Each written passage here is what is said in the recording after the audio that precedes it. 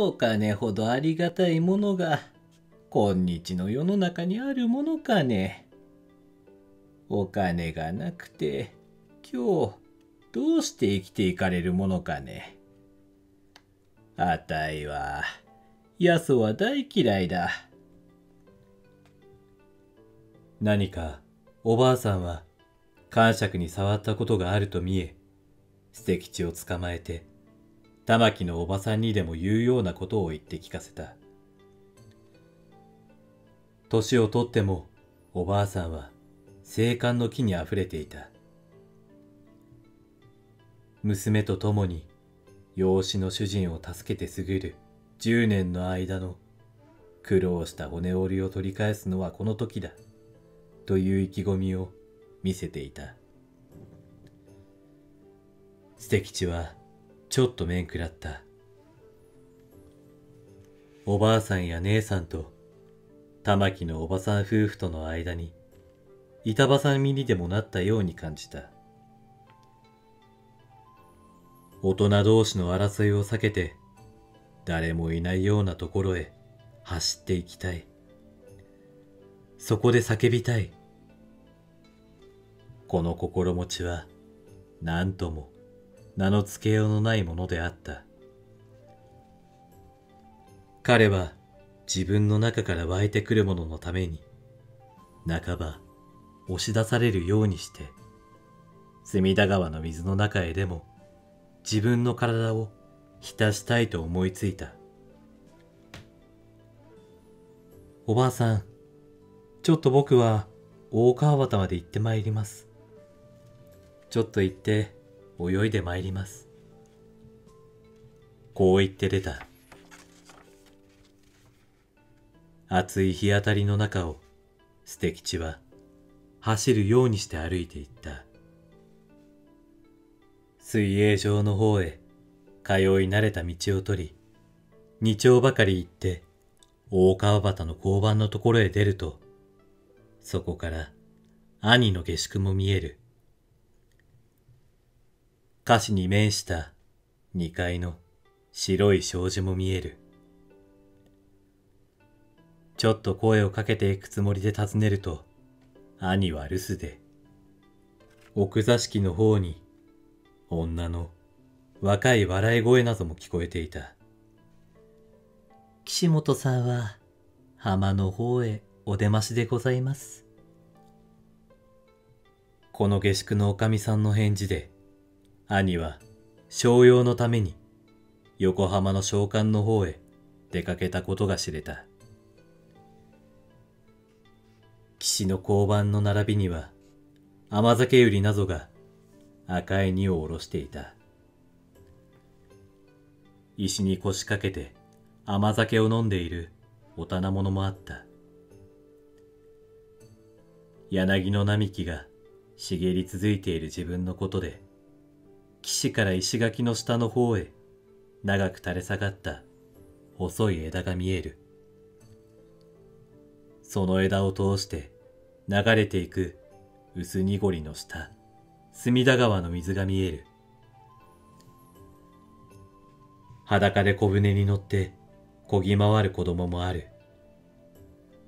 彼は胸を突き出し、深く荒い息をついて、青い柳の葉を心ゆくばかり嗅いだ。水泳場には捨て吉の泳ぎの教師がいた。二夏ばかり通ううちに捨て吉も隅田川を泳ぎ越すぐらいは楽にできたのである。小屋の屋根に登って甲羅を乾かす者、腕組みをする者、寝そべる者、ブルブル震えている者、高いはしごの上から音をさして水の中へ飛び込む者、そういう若い人たちの中には、体の黒いものを自慢な古顔もあり、よく渋皮の向けかかった見知らぬ顔もあった。岸の近くは泳ぎ回る人たちの罵り、叫ぶ声や、波を蹴る騒がしい音で満たされていた。勝手を知った捨て吉は、大勢、水泳場の生徒の集まっているところで、自分もすぐに着物を脱ぎ、背の立つ水の中を泳ぎ抜けて、小屋に近く、つないである船の上へ上がった。遠く船を離れて、対岸をめがけて進むものもあった。彼も身を逆さまにして、船から水底の方へ踊り入った。あたかも身をもがかずにはいられないように。あたかも何か抵抗するものを見つけて、身を打ちつけずにはいられないように。川蒸気の残していく高い波がやってきた。船から離れて泳いでいる者はいずれもそれを迎えようとして急いだ。波は山のように持ち上がってくる。どうかすると、捨て吉はずっと後ろの方へ押し流された。その度に彼は波の背に乗って踊りかかってくるような第二の波をかぶった。一時はシーンとするほど深く沈んだ体が自然と浮いてきて、だんだん水の中が明るくなったと思うと、いつの間にか彼は日の反射する波の中にいた。旧両国の橋の下の方から渦巻き流れてくる隅田川の水は潮に混じって川の中を暖かく感じさせたり冷たく感じさせたりした。浮いてくるゴミの塊やスイカの皮や腐った猫の死骸や板切れと同じように気にかかる。この世の中の些細なことは皆ずんずん流れていくように思われた。捨て吉は頭から何からすっかり濡れて船へ上がった。両方の耳からは水が流れてきた。その体を日の光の中に置いて、しばらく波の動揺に任せていた。兄さん、と、岸から呼ぶ子供の声がした。ヒロシだ。ヒロシは母親に連れられて大川端へ歩きに来ていた。ヒロシさん、と捨て吉も船の上から呼び交わした。何年も何年も寝床の上にばかり寝たり起きたりした田辺の姉さんがヒロシの手なぞ引いて歩いている姿をこの歌詞に見つけるということは捨て吉には珍しかった。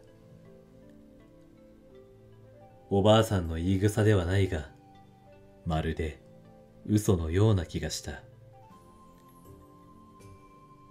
岸へ上がって体を拭き、面長な教師にも別れ、水泳場を出て、ヒロシを探した頃は、姉さんたちは、もう見えなかった。おじさんが釣りに来て、よく腰をかける石などが、捨て吉の目についた。濡れた手ぬぐいを下げて、元来た道を田辺の家の前まで引き返していくと、捨て吉は門前のところで、玉木のおばさんのぼんやりと立っているのにあった。おばさんは何を眺めるともなく、往来を眺めていた。ステさんお前さんは偉い？と、おばさんが捨て吉の顔を見て言った。なぜです？と、捨て吉は問い返した。なぜって、田辺のような家に、そう長く辛抱していられるのは、偉い？このおばさんの返事に、捨吉は侮辱を感じた。おばさんはしおれて、もう、私どもは、そんなに長いこと、ここの家のお世話になっていません。と付け足した。アーメン嫌いな人たちの中で、時々、捨吉が2階へ上がっていって、祈りの仲間入りをするようになったわ。同じ、居候の玉木さんを、憐れむという心からであった。